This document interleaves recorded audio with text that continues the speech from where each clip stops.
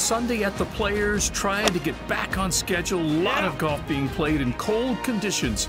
Ponte Vedra Beach finishing up the second round and then into the third round here at the stadium course at TPC Sawgrass. Abraham Ancer with a beautiful shot into 15.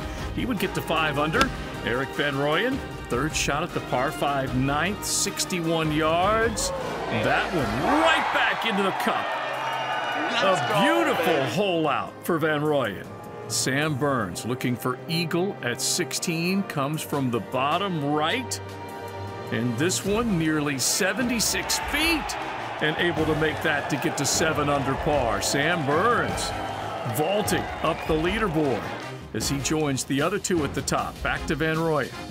85 yards, his third at the par 5 second. Van Rooyen, a one time winner on the PGA Tour from South Africa and playing very well. Seasoned for the stadium course. Lowry at 17, the Irishman. After birdie at 16, what does Shane Lowry do? He drops it in for an ace. A hole in one, and who's buying? The crowd around 17 absolutely loving it. He would get to four under. Seven under is Sam Burns as we pick him up. His third shot at the second. Third round underway. He leaves about seven feet of work and he would make the putt. Doc Redman, four under. This at the sixth. 81 yard play. And that one drops in. Just a great shot from the former U.S. amateur champ. Harold Varner III, seven under, looking for a share of the lead. Birdie chance at three, and that one curls in. Varner without a win on the PGA Tour. How special would it be for it to happen here? And India's Anirban Lahiri. He certainly can have that same type of feeling. Tee shot at the eighth, difficult par three. 220 yards to about four feet, and he would take it to eight under. Now Paul Casey. Casey, late in the afternoon, sun beginning to set. 120 yards, and that one just below the hole. A six footer, and he would be able to convert that.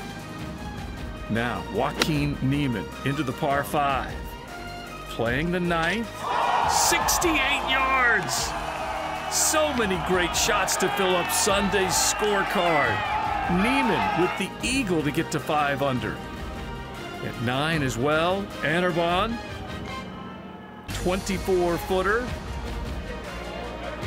Up the hill, and could it be a player's title, a maiden victory for Lahiri?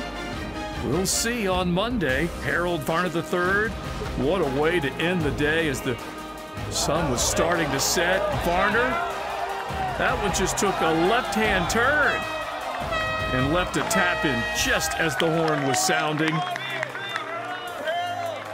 Varner able to tap that in, and Hoge also looking to add one.